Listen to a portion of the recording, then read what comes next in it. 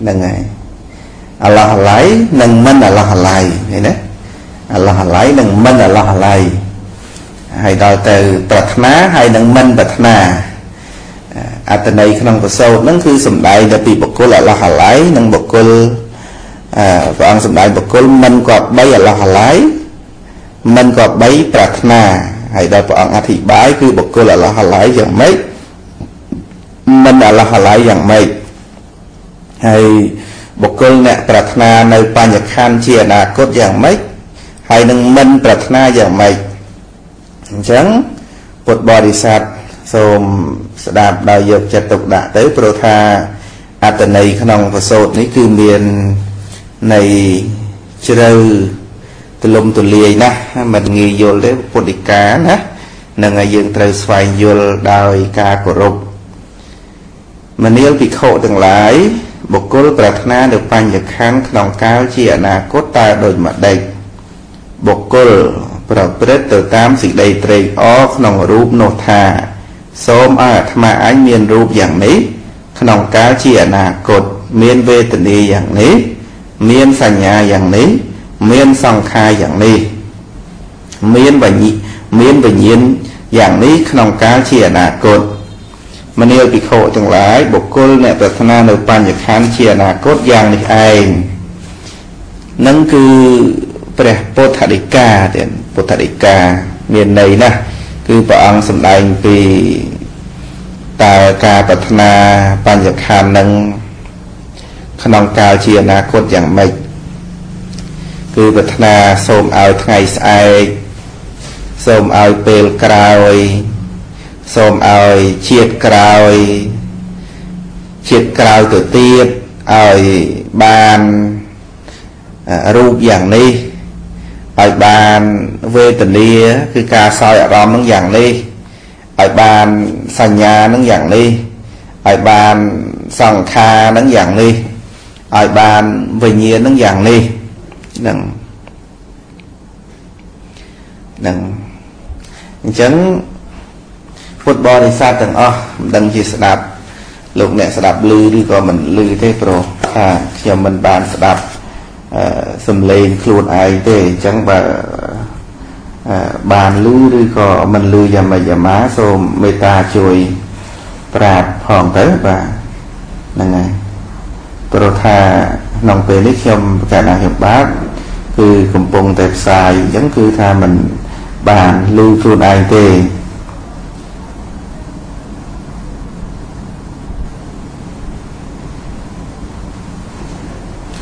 ហ្នឹងហើយ អរគុណពុទ្ធបរិស័ទទាំងអស់អ្នកបាន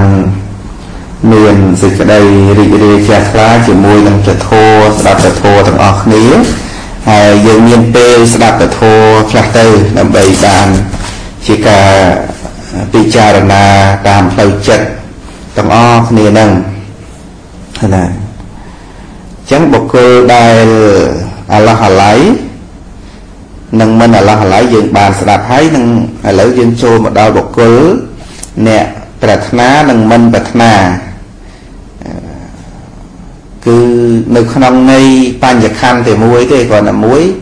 ប្រាថ្នាសូមឲ្យអាត្មាអញយ៉ាងនេះយ៉ាងនោះក្នុងអនាគតនឹងហើយមួយទៀតគឺមិនប្រាថ្នាទេមិនត្រូវការទេអញ្ចឹងបុគ្គលទាំងពីរនាក់ហ្នឹងគឺមានគំនិតខុសគ្នាហើយគឺមួយគឺសូមឲ្យ យើងយ៉ាងនេះសូមឲ្យយើងយ៉ាងនោះឲ្យយើងខ្លាំងឲ្យយើងពូកែឲ្យយើងលើសគេឲ្យយើងមានយើងបានឲ្យយើងរូបស្អាតឲ្យយើងសម្លេងពីរោះឲ្យយើងបានធ្វើជាយ៉ាងនេះយ៉ាងនោះតាមគំនិតដែលខ្លួនគិតនឹងសូមឲ្យបានសូមឲ្យបានហ្នឹងណាអាប្រាថ្នាចង់បានយ៉ាងនេះយ៉ាងនោះពេកហ្នឹងក៏ជាហេតុនាំឲ្យមាននៅសេចក្តីទុកដែរតែ នាំឲ្យមានសេចក្តីទុកតាមផ្លូវចិត្តឲ្យតែយើងគិតសូមឲ្យយើងបានយ៉ាងនេះយ៉ាងនោះឲ្យបានលើសគេទៅដល់តែមិនបានលើសគេទៅក៏ពិបាកចិត្តទៅនឹងហើយសូមឲ្យយើងនឹងបានជាអ្នកមានទៅជាអ្នកមានទ្រព្យសម្បត្តិច្រើនទៅឲ្យជាអ្នកមានរូបស្អាតទៅឲ្យជាអ្នកមានសម្លេងពិរោះទៅ ឲ្យយើងជាអ្នកមានកម្លាំងខ្លាំងពូកែជាងគេទៅក្នុងកាលជាអនាគតនឹងសេចក្តីប្រាថ្នាត្រូវការចង់បាននឹងហើយក៏ធ្វើកម្មផ្សេងផ្សេងទៅធ្វើអ្នកខ្លះក៏ធ្វើបន់ហើយប្រាថ្នាចង់បានក្នុងកាលជាអនាគតនឹងសូមឲ្យបានយ៉ាងនេះយ៉ាងនោះអ្នកខ្លះចង់បានចឹងដែរប៉ុន្តែមិនបានធ្វើបន់ទេ ទៅជាធ្វើអំពើបាបទៅវិញទៅតែធ្វើអំពើបាបហ្នឹងក៏មិនមែនជាហេតុដល់ឲ្យបានសម្រេចទេវាទៅជាធ្វើឲ្យខ្លួនឯងវិនាសហើយខ្លះទៀតធ្វើបន់ហើយក៏ប្រាថ្នាសូមឲ្យបានយ៉ាងនេះយ៉ាងនោះនឹងសូមបីធ្វើបន់ក៏ដោយណាប៉ុន្តែបើនៅមានសេចក្តីប្រាថ្នាអញ្ចឹងគឺ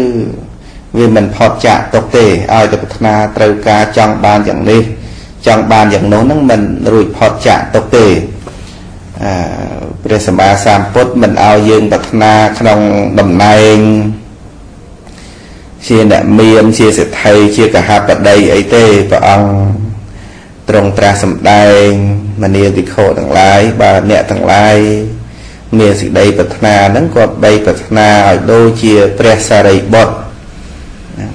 គាត់បីប្រាថ្នាឲ្យដូចជាព្រះមហាមោគលាន ពីព្រោះថាដូចជាព្រះសារីបុត្រព្រះមហាមោគលានជាដើមគឺលោកមិនមែនជាបុគ្គលដែលជាអ្នកមានទ្រព្យសម្បត្តិច្រើនឬក៏ថាជាអ្នកជាប់ជំពាក់នៅក្នុងលោកអីទេ គឺជាអ្នកអស់នៅអាសវៈកិលេសអញ្ចឹងវាថាប្រាថ្នាឲ្យប្រាថ្នាទៅអញ្ចឹងហើយបើបាសិកាឬក៏ភិក្ខុនីហ្នឹងគឺប្រាថ្នាឲ្យដូចជា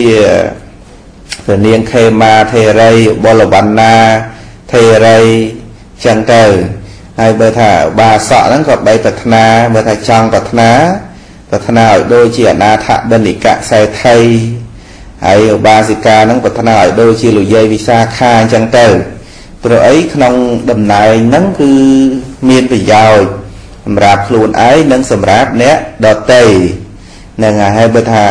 ប្រាថ្នាសូមឲ្យតែមានរូបស្អាតរូបល្អ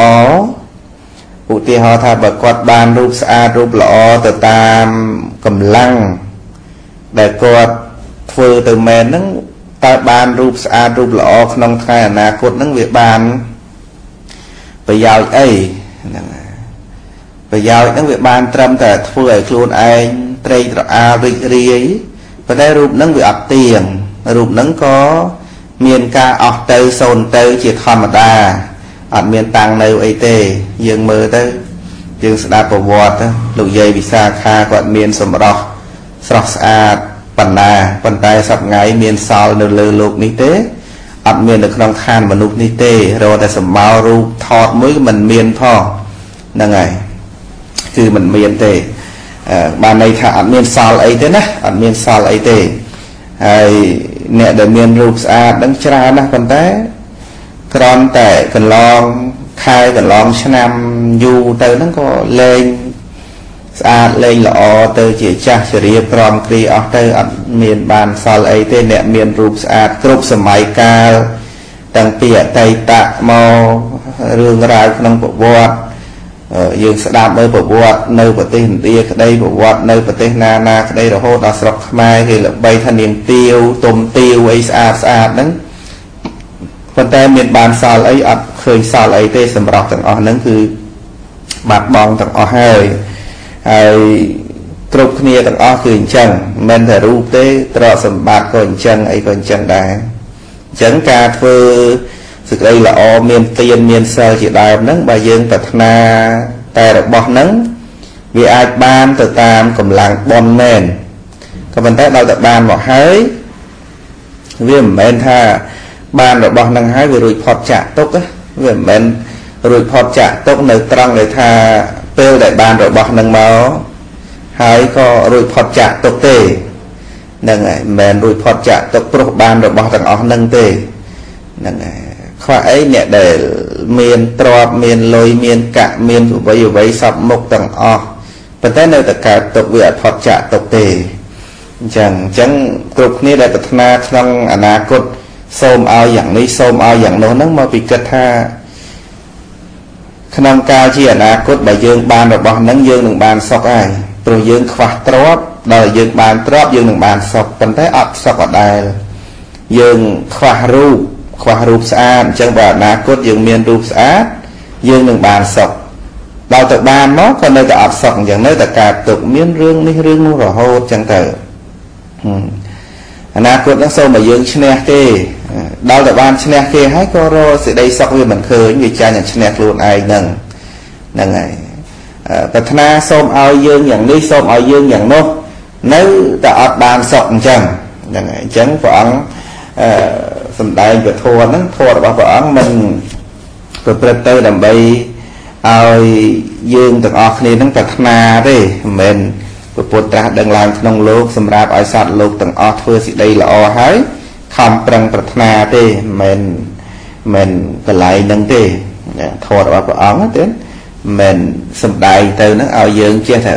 ធ្វើបន់ឲ្យប្រាថ្នាយ៉ាងនេះប្រាថ្នាយ៉ាងនោះទៅកើតឋានសួគ៌ទៅកើតស្អីស្អីហ្នឹង ធម៌របស់ព្រះសម្មាសម្ពុទ្ធមិនមែនអញ្ចឹងទេអញ្ចឹងដើម្បីអី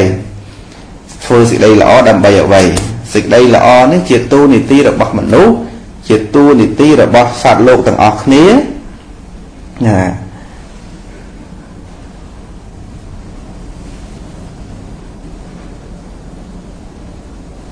ហ្នឹងហើយសេចក្តីល្អជាទូនីតិរបស់យើងយើងត្រូវតែធ្វើយើងត្រូវតែសន្សំហើយ មិនមែនធ្វើសេចក្តីល្អហ្នឹងដើម្បីតែសុខក្នុងអនាគតទេ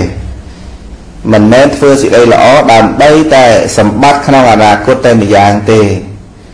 ប៉ុន្តែសេចក្តីល្អហ្នឹងគឺធ្វើដើម្បីសេចក្តីសុខក្នុងបច្ចុប្បន្ននឹងផងហើយសេចក្តីល្អហ្នឹងជាបច្ច័យនាំឲ្យមានបញ្ញាត្រាស់ដឹងនៅមគ្គផលព្រះនិព្វានផងឃើញទេមិនមែនធ្វើសេចក្តីល្អបុណ្យកុសលទាំងអស់ វាក្រំតែដើម្បីអនាគតទេបើក្រំតែដើម្បីអនាគតវាអត់ចប់ទេពីព្រោះអនាគតហ្នឹងវាអត់ចេះអស់ហ្នឹងហើយអនាគតអត់ចេះអស់ទេឧទាហរណ៍ថាយើងធ្វើដើម្បីថ្ងៃស្អែកដល់ទៅថ្ងៃស្អែកមកដល់មានអស់ស្អែកទៀតអីវានៅតែមានស្អែកអញ្ចឹងបន្តបន្តបន្តបន្តរហូតអត់មានចេះអស់ទេអញ្ចឹងសួរថាតើយើងធ្វើសេចក្តីល្អដើម្បីអ្វីទៅ បើមិនប្រាថ្នាអញ្ចឹងនោះប្រាថ្នាបានព្រះសម្មាសម្ពុទ្ធព្រះអង្គសម្ដែងប្រាថ្នាបានក៏ប៉ុន្តែមិនប្រាថ្នានៅក្នុងបញ្ចកាមគុណទេព្រោះយើងនៅក្នុងបញ្ចកាមគុណរូបសម្លេងក្លិនរសផលថពៈនឹងស្រាប់ទៅហើយហើយយើងដឹងថាវាយ៉ាងម៉េចហើយហើយបើប្រាថ្នារវាទៀតគឺវាបានតែប៉ុណ្ណឹងវាគ្មានអីអស្ចារ្យលើសនឹងទេវាមានតែរឿងជួប ហើយនឹងបែកបាក់គ្នាទៅវិញប៉ុណ្ណឹងទេវាគ្មានអីអស្ចារ្យទេអញ្ចឹងមិន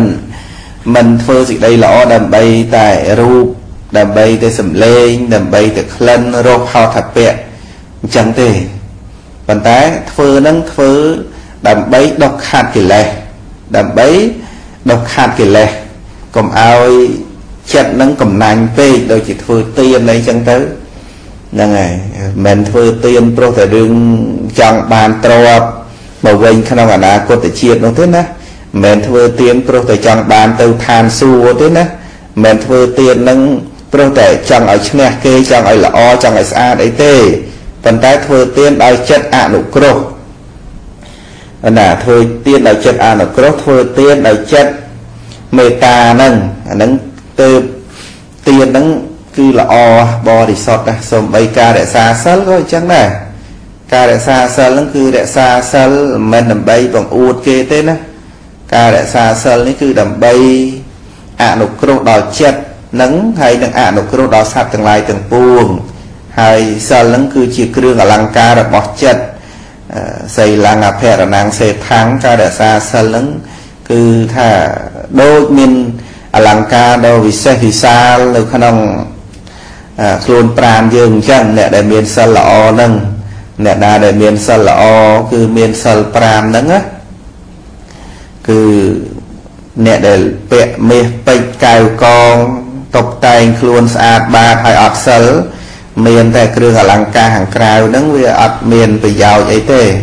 វាគ្មានស្អាតអីទេវាចាញ់ស្អាតដោយសិលណាហ្នឹងហើយអញ្ចឹងគឺសិលហ្នឹងគឺ ការដែលយើងសង្រួមតាមផ្លូវកាយផ្លូវវិចាអមទៅដោយផ្លូវចិត្តខ្លះខ្លះទៀតហ្នឹងគឺធ្វើឲ្យបុគ្គលនឹងស្អាតល្អតាំងពីបច្ចុប្បន្នហ្នឹងទៅហើយពុទ្ធបរិស័ទខ្លះក៏ថាចាបើធ្វើបន់មិនប្រាថ្នាអញ្ចឹងបន់យើងទៅណា យើងមិនចាំបាច់ប្រាថ្នាក៏បន់នឹងអត់មានបាត់ទៅណាចេញពីយើងដែរណាយើងពុទ្ធបរិស័ទមិនប្រាថ្នាក៏ដោយ ក៏បន់នឹងមិនបានដែរឧទាហរណ៍ដូចជាយើងធ្វើបាបអញ្ចឹងយើងធ្វើបាបហើយយើងមិនប្រាថ្នាសូមឲ្យយើងធ្លាក់នរកឬក៏ថាធ្វើបាបនឹងឲ្យយើងទៅការជាប្រែតឲ្យយើងនឹងទុកលំបាកឲ្យគេស្អប់យើងឲ្យគេអីយើងមិនប្រាថ្នាក៏វាមកដែរដូចជាអ្នកអឺធ្វើចោរកម្មដើរលួចប្លន់គេអញ្ចឹងមានបានប្រាថ្នាថាអើសូមឲ្យគេតន់ ទៅសូមឲ្យគេចាប់យើងចង ទៅសូមឲ្យគេសម្លាប់យើង ទៅសូមឲ្យគេជេរស្ដីវាយដំយើងទៅអត់មានប្រាថ្នាទេប៉ុន្តែអំពើអាក្រក់ហ្នឹងវាហុចមកឲ្យចោលហ្នឹងទទួលតែម្ដងមិនមែនចោលហ្នឹងប្រាថ្នាសូមឲ្យគេចាប់បាន សូមឲ្យគេចងអញសូមឲ្យគេបៀតបៀនគេចាប់បានហើយគេស្រែកជេរពេញផ្លូវពេញស្រុកពេញទេសអីចឹងទៅមិនចោលប្រាថ្នាទេ ប៉ុន្តែចោលនឹងអត់ប្រាថ្នាក៏ដោយប៉ុន្តែចោលនឹងបានធ្វើនៅហេតុដែលនាំឲ្យគេស្អប់ហ្នឹងហើយហ្នឹងហើយសូម្បីតែចោលនឹងអត់ប្រាថ្នាក៏ដោយណាប៉ុន្តែចោលនឹងបានធ្វើនៅហេតុដែលនាំឲ្យគេស្អប់នាំឲ្យគេជេរបាត់ទៅហើយអញ្ចឹងអ្នកធ្វើបុណ្យនឹងសូម្បីអត់ប្រាថ្នាក៏ដោយក៏សេចក្តីសុខនឹងត្រូវតែផ្ដល់ឲ្យឲ្យគាត់មានបានឲ្យគាត់បានកើតជាមនុស្សឬក៏ជាទេវតាតាមកម្លាំងបុណ្យនឹងមិន ចាំបាច់ត្រូវតែប្រាថ្នាទេអត់ប្រាថ្នាក៏បុណ្យនឹងចេះរៀបចំឲ្យគាត់បានសុខមកចឹងដែរមិនមិនប្រាថ្នាក៏បានហ្នឹងហើយមិនប្រាថ្នាក៏បានព្រោះបុណ្យនឹងចេះចាត់ចែងជាងយើងទៅទៀតយើងមិនប្រាថ្នាក៏បុណ្យនឹងមិនផ្លេចយើងដែរកុំច្រឡំថាតើតែយើងប្រាថ្នាទើប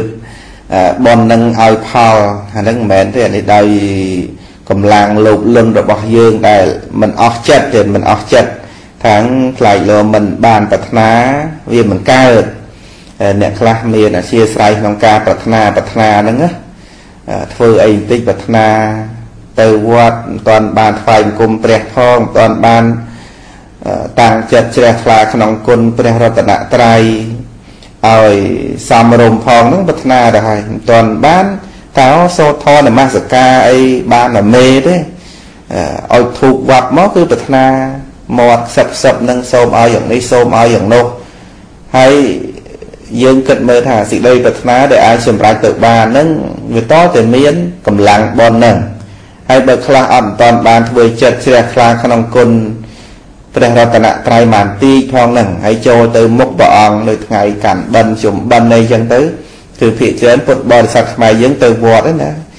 ដល់វត្តចាប់ដើមទៅថ្វាយបង្គំព្រះអង្គហើយទីកន្លែងខ្លះគេអុជធូបអុជអីចឹងទៅអុជធូបមិនមែនអុជធូបបូជាទៅអុជធូបបន់អុជធូបបូជាមិនខុសអីទេណាអុជធូបក៏អូបអីចឹងប៉ុន្តែយើងប្រយ័ត្នប្រយែងអុជប្រយ័ត្នឆេះប្រយ័ត្នអីចឹងទៅប៉ុន្តែបើអុជធូបក៏អូបដើម្បីបូជាព្រះពុទ្ធមិនខុសអីទេតែដល់តែអុជធូបបន់អាហ្នឹងវាអត់ត្រូវទេហ្នឹងហើយ ណាកាលណាអុជធូបបន់គឺអត់អត់ត្រូវទេព្រោះថាអានឹងអុជធូបបន់អុជធូបបូជាអានឹងទៅជាបន់ព្រោះយើងបានបូជាគ្រឿងកោបធូបធូបកោបនឹងឯងនឹងគឺថាយើងបូជាទៅបានសម្រេចប្រការបូជានឹងហើយខ្លះអត់ទាំងបានគិតថាបូជាព្រះអង្គផងណាគ្រាន់តែទៅដល់មុខព្រះប្រាថ្នាបាត់ហើយណាខ្ញុំធ្លាប់ឃើញផ្ទាល់តែម្ដងមិនតាន់បានធ្វើចិត្តឲ្យជ្រះថ្លា ឬក៏ស្អីផងទៅហ្នឹងគឺថាទៅជួបព្រះហ្នឹងគឺទៅពឹងព្រះទេមិនមែនទៅរកព្រះអង្គព្រោះតែសេចក្តីជ្រះថ្លាទេព្រោះដឹងថាអូយព្រះអង្គអស្ចារ្យយ៉ាងនេះព្រះអង្គអស្ចារ្យយ៉ាងនោះអញ្ចឹងអញទៅបំទៅនឹងបានសម្រេចឃើញទេហ្នឹងហើយអញ្ចឹងធ្វើក៏ទៅដល់ចាប់ផ្ដើមទៅសូមហ្នឹងហើយទៅទៅសូមព្រះអង្គពីយ៉ាងនេះពីយ៉ាងនោះហ្នឹងហើយហ្នឹងហើយ អញ្ចឹងទៅសុំព្រះអង្គហ្នឹងគឺថាមិនមែនជារឿងបុណ្យកុសលណានេះទៅសុំណាលោភៈរបស់យើងទេណាមិនមែនណែយើងទៅធ្វើសេចក្តីល្អបានសម្រេចទេគឺទៅសុំពីព្រះហើយធម្មតាទៅសុំអញ្ចឹងជាលោភៈរបស់យើងណាហើយលោភៈហ្នឹងមិនមែនជាបុណ្យទេលោភៈហ្នឹងជាបាបអញ្ចឹងអញ្ចឹងយើងវែកញែកកន្លែងហ្នឹងទៅបានយើងដឹងថាពេលខ្លះយើងប្រាថ្នាយើងចេះតែប្រាថ្នាប៉ុន្តែអត់មាន អ្វីដែលនាំឲ្យយើងប្រាថ្នាគឺសេចក្តីល្អនឹងផងហ្នឹងហើយបានន័យថាអត់តន់បានធ្វើសេចក្តីជ្រះថ្លាក្នុងគុណព្រះរតនត្រ័យផងក៏ប្រាថ្នាបាត់ទៅហើយហ្នឹងហើយក៏ប្រាថ្នាបាត់ទៅហើយមិនតនឹងបានធ្វើស្អីផងហ្នឹងក៏ប្រាថ្នាបាត់ទៅហើយហ្នឹងហើយណាហ្នឹងក៏រឹតតែមិនគួរទៅទៀតដែរប៉ុន្តែបើទោះបីជាបានធ្វើសេចក្តីល្អហើយក៏ដោយតែបើយើងប្រាថ្នា យ៉ាងនេះប្រាថ្នាយ៉ាងនោះហ្នឹងក៏វាជាហេតុនៃសេចក្តីទុកដែរសូម្បីយើងបានធ្វើសេចក្តីល្អមែនក៏ដោយណាហ្នឹងហើយឲ្យតែយើងមានសេចក្តីប្រាថ្នាច្រើនពេកវាជាហេតុនាំឲ្យយើងកើតទុកហ្នឹងហើយអញ្ចឹងព្រះដ៏មានភាពព្រះអង្គសម្ដែងពីបុគ្គលអ្នកមាននៅសេចក្តីប្រាថ្នាក្នុងអនាគតហ្នឹងគឺអញ្ចឹងប្រាថ្នាមានអត្តន័យខ្លឹមសារច្រើនណាស់ ក្នុងរឿងការប្រាថ្នាញាតិញោមពុទ្ធបរិស័ទធ្លាប់បានស្ដាប់ធ្លាប់បានឮនៅក្នុងធម្មទេសនាផ្សេងផ្សេងដែលក្នុងពជាដកក្តីដូចជានាងឧមាតនតីស្រីធ្វើឲ្យគេឈួតដោយសារសម្រស់របស់នាងអីចឹងណាគឺមានសេចក្តីប្រាថ្នាហ្នឹងហើយមានសេចក្តីប្រាថ្នាមានសេចក្តីត្រូវការឲ្យរូបនឹងស្អាតយ៉ាងនេះយ៉ាងនោះអញ្ចឹងទៅ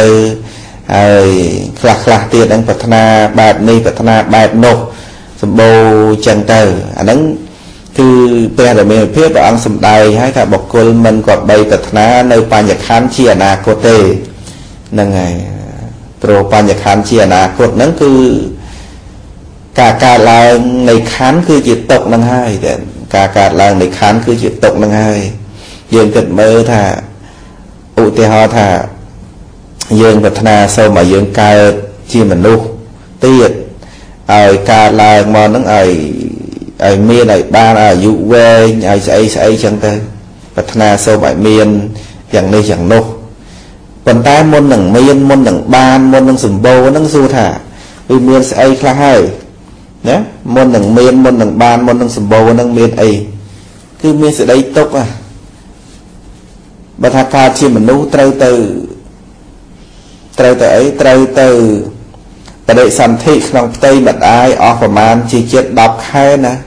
ហ្នឹងហើយ9ខែ10ថ្ងៃណានៅក្នុងផ្ទៃម្ដាយអស់កាលទៅយូរទុកលំបាកណាណា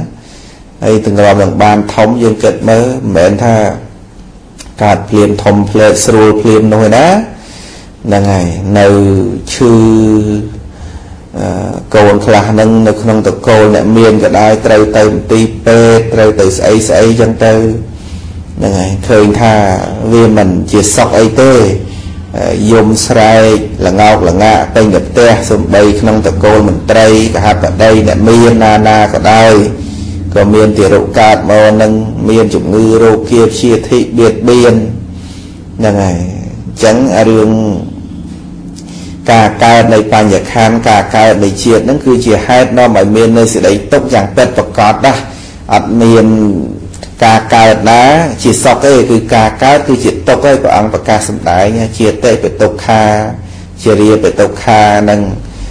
ការកើតនៃជាតិហ្នឹងគឺជាហេតុនាំមកនៃសេចក្តីទុកហ្នឹងហ្នឹងហើយ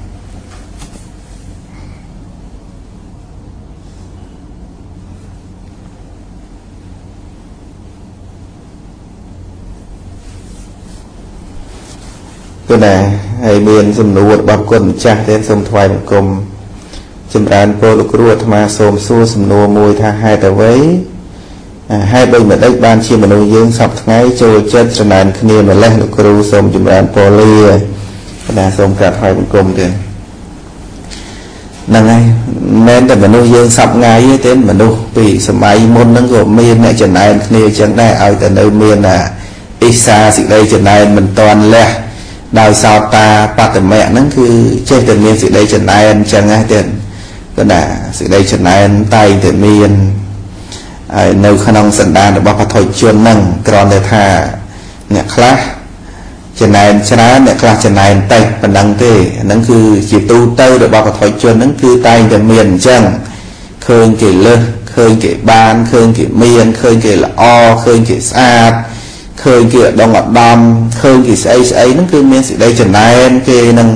អាហ្នឹងរឿងបថុជនហ្នឹងគឺអញ្ចឹងតែគឺអញ្ចឹងទាំងយើងទាំងគេជួនកាលរឿងចំណែនហ្នឹងមិនមែនអ្នកណាទេយើងហ្នឹងឯងអ្នកចំណែនគេហ្នឹងមិនមែនថាអ្នកដតីណាទេណាយើងស្ដាប់ពីសេចក្តីចំណែនហ្នឹងមិនមែនរឿងគេទេជួនកាលរឿងយើងហ្នឹងយើងជួនកាលយើងចេះតែភ័យថាខ្លាចគេចំណែនយើងខ្លាចគេចំណែនយើង ប៉ុន្តែរឿងគេចំណែនយើងវាមិនមែនជាហេតុនាំឲ្យយើងធ្លាក់នរកទៅប្រែតអីនោះទេណារឿងគេចំណែនយើងណាមិនមែនជាហេតុនាំឲ្យយើងទុកលំបាកទេហ្នឹងហើយគឺជាបាបរបស់គេប៉ុន្តែហេតុដែលនាំឲ្យយើងវិនាសនោះគឺរឿងយើងផ្ទាល់ខ្លួនគឺយើងចំណែនគេហ្នឹងអាហ្នឹងដែលធ្វើឲ្យយើងលំបាកនោះចឹងបានថាយើងចេះតែភ័យខ្លាចគេចំណែនយើង ប៉ុន្តែគេចំណែនយើងវាមិនមែននាំឲ្យយើងវិនិច្ឆ័យទេដែលនាំឲ្យយើងវិនិច្ឆ័យហ្នឹងគឺយើងចំណែនគេហ្នឹងយើងត្រូវជ្រាបកន្លែងហ្នឹងទៅហ្នឹងហើយណាហើយជាទូទៅរបស់វត្ថុជនគឺតែងតែមានអញ្ចឹងទេណាតែងតែមានសេចក្តីអឺចំណែនអញ្ចឹងឲ្យតែមិនតាន់បានលះបង់ដោយសោតាបត្តមៈឬក៏មិនតាន់បានលះបង់ដោយទានដោយសិល ដោយមុទិតាសេចក្តីត្រេកអរតាមហ្នឹងគឺ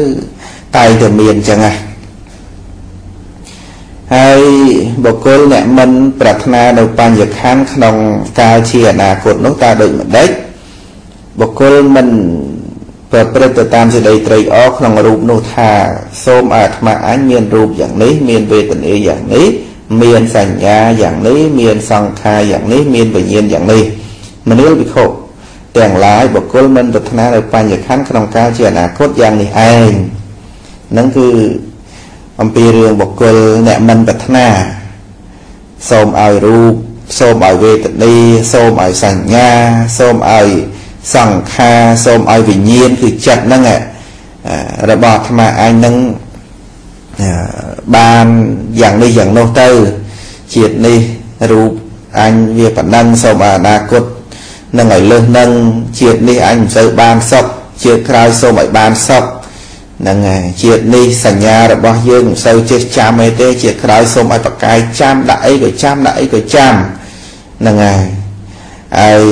ជាតិនេះយើងមិនបានធ្វើមិនបានមានទ្រព្យសម្បត្តិមិនបានមានអ្វីអ្វីសពគ្រប់ដែលជាសង្ខារនឹង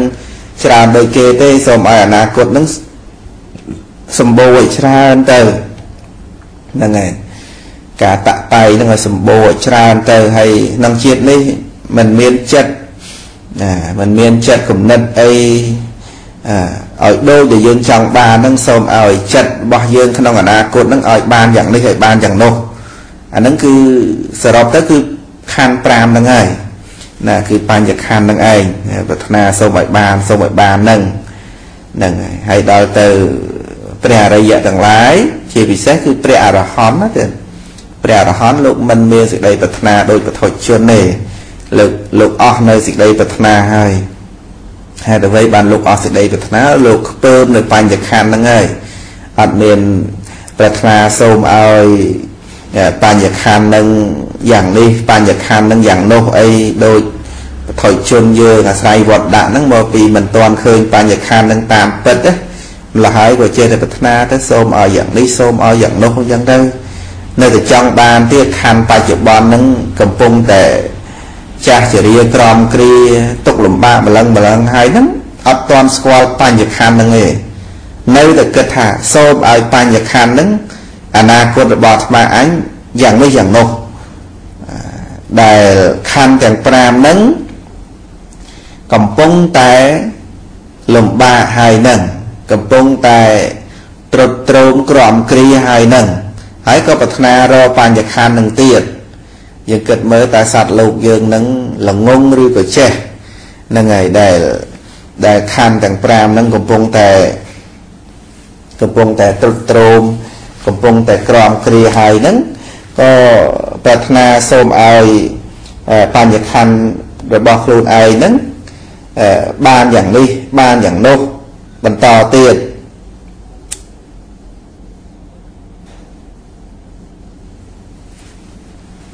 ណាហ្នឹងគឺខ្ញុំក៏ដែរខ្ញុំបាទអត់ទៅបានមើល comment ទេព្រោះកាលណាមើល comment ច្រើនទៅហ្នឹងហើយវាអាចធ្វើឲ្យចិត្តហ្នឹងដូចថាមិនសូវបាននិយាយធัวបានស្រួលអញ្ចឹងតែចាំពេលដែលថាដោះស្រាយសំណួរចាំ មើលទៅឥឡូវសូមអធិស្ឋានផងចុះបើមានសំណួរអីសាកសួរអីហ្នឹងក៏សួរទៅចុះប៉ុន្តែមិនតាន់បានមើលក្នុងពេលនេះហើយចង់និយាយពោលនៅធម្មីកថានឹងឲ្យច្រើនបន្តិចសិនតកតងនឹងនៅក្នុងប្រសូតហៅថាផាត់ទេតរតិសូតអធិប្បាយនៅក្នុងពុទ្ធិកានឹងរឿងបុគ្គលអ្នកប្រាថ្នានិងមិនប្រាថ្នានឹងហ្នឹងហើយអ្នកប្រាថ្នាយ៉ាងម៉េចអ្នកមិនប្រាថ្នាយ៉ាងម៉េច អ្នកប្រាថ្នាហ្នឹងគឺបានន័យថាអ្នកមិនទាន់ស្គាល់បញ្ចខណ្ឌហ្នឹងហើយអ្នកប្រាថ្នាណាហើយអ្នកអស់នៅសេចក្តីប្រាថ្នាគឺជាបុគ្គលដែលនឿយណាយនឹងបញ្ចខណ្ឌនឿយណាយនឹងរូបរាងកាយនឿយណាយនឹងរូបសម្លេងក្លិនរូបហោថពៈនឿយណាយនឹងរូបវេទនាសញ្ញាសង្ខារវិញ្ញាណ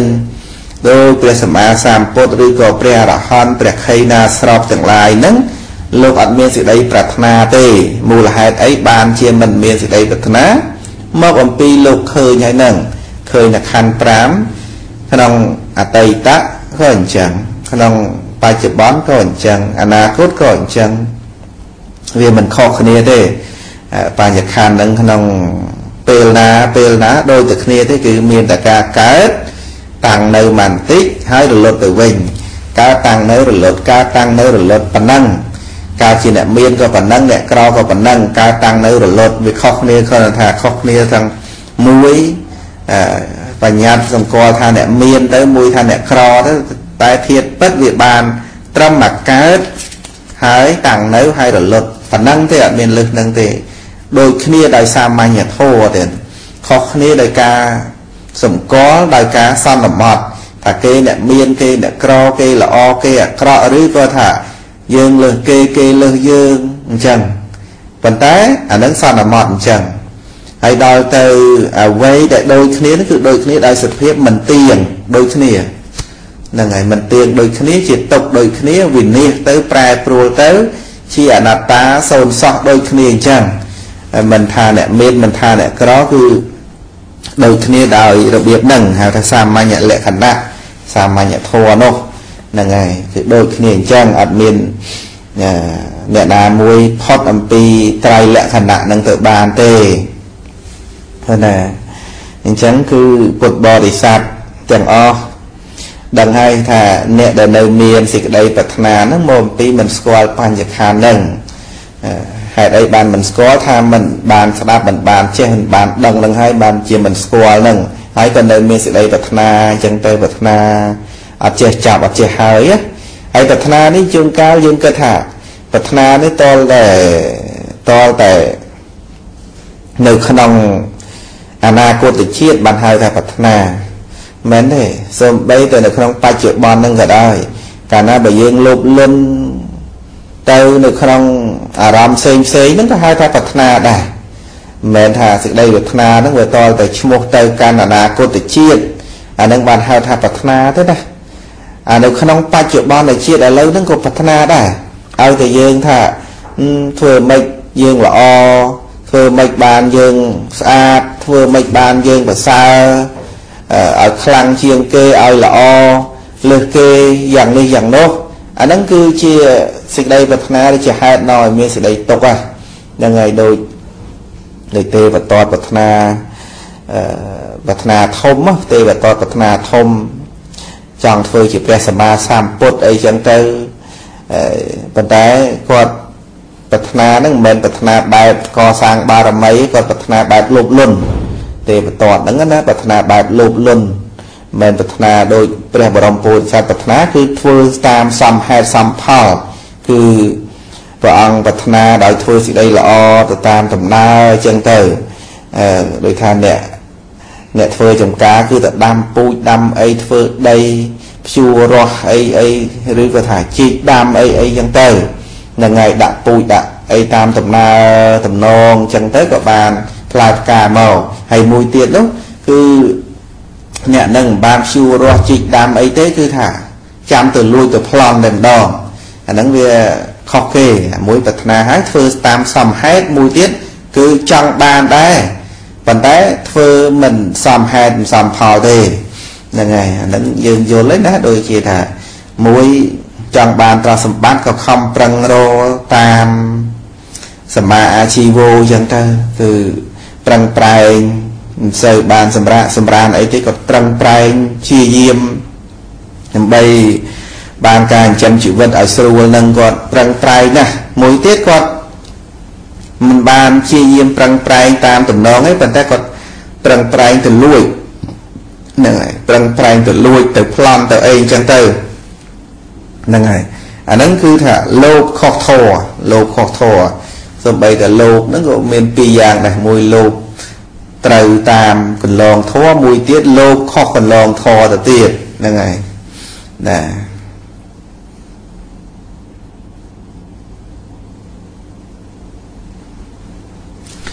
ណាអញ្ចឹងគឺ